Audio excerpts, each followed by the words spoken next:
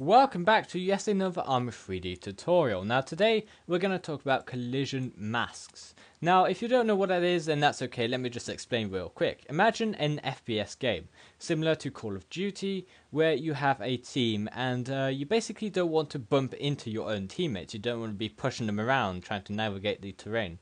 So basically, you're not to collide. Your program is not going to detect the physics of your teammates. However, if you collide with an enemy from the opposite team, it will detect collisions, and you will be able to bump into them and push them around. So that's basically what we're going to talk about. How do we define when and when not to collide with a specific object? Don't worry, we're not actually going to be using any sort of logic nodes or any sort of hack scripts or anything whatsoever. We're just going to be talking about layers. So, if you're familiar, then you should remember layers from uh, Blender 2.7 and previous. I'll get back to that in a second. Basically, let's collide, uh, well, let's collide, which let's add collisions to this first object by adding a rigid body. Set it to passive because we don't actually want that one to fall. Uh, set the collision type to be a box, and now let's do the same with the cube. Let's leave it as active and set it to be box. Now, let me just explain how they're going to collide with each other.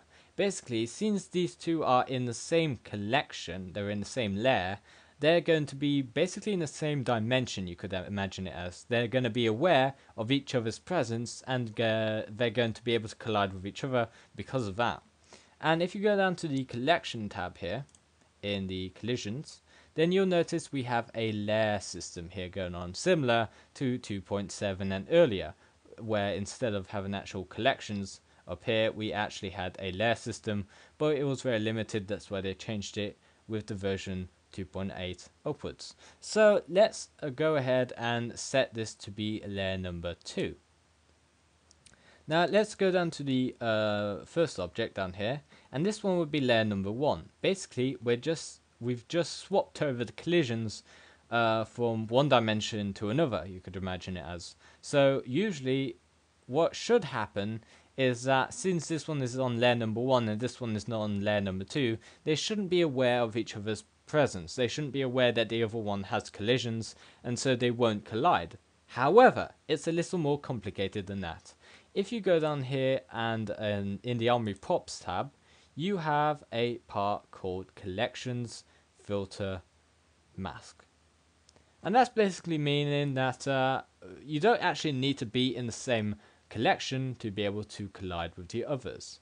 You can actually have multiple uh, collisions even though you're only in one collection. So imagine you want to collide with uh, the object in collection number 2 and you're in collection number 1. You could just add collection number 2 to your amount of collision filters. So yeah, that's basically it. That's as easy as it is, if you understand. And you could actually disable it because we don't actually have any objects in the scene other than itself with uh, uh, collisions on collection number one, on layer number one.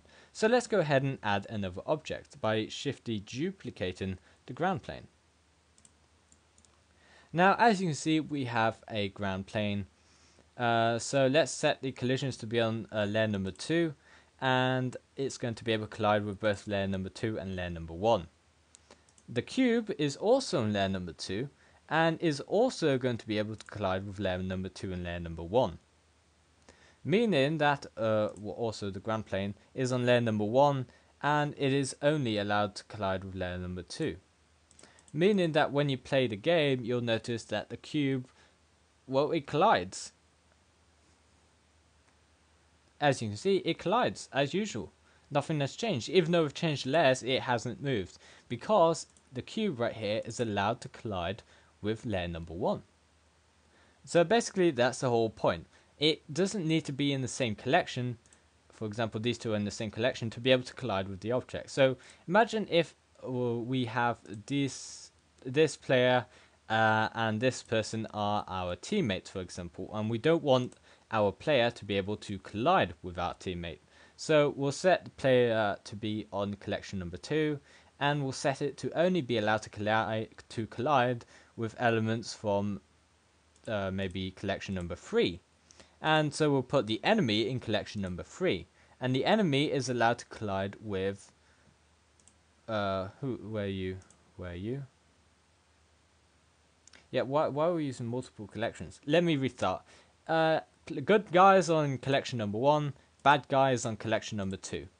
So the good guy is allowed to collide with the enemy, but not with the player, or with the teammate. The teammate is allowed uh, to collide with, well, the enemy as well, but the teammate doesn't actually move, so it doesn't matter. And uh, the enemy is in collection number 2 and is only allowed to collide with the good guys in collection number 1. So now if we play this, the uh, the player who's on collection number one is only allowed to collide with people on number two. Number two is the bad guys. So it should just fall right through the teammate, the ground, and only collide with our enemy, right there. That's basically the whole point of uh, the uh, collection masks. It's sort of complicated to understand at first because it's a little hard to uh, sort of visualize what is actually happening. Uh, but that's essentially what is going on. You can actually just test out the collections for yourself if you're having trouble understanding.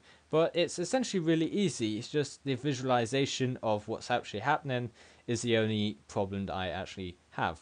So there we go. Now that we have this figured out, you can actually apply this to be uh, on the collisions of an actual player instead of just a bunch of objects falling in space. And you could actually create some interesting um, mechanics, and it, it will be a very good uh, adjustment to an FPS game. So you'd actually collide with the people you're not meant to be colliding with. And I think Fortnite can take a leaf out of this book because honestly, I'm getting pretty bored of being blocked in the doorway because of some random kid who's gone AFK. Thank you very much for watching, and I'll see you in a, well, hopefully in another tutorial. Take care.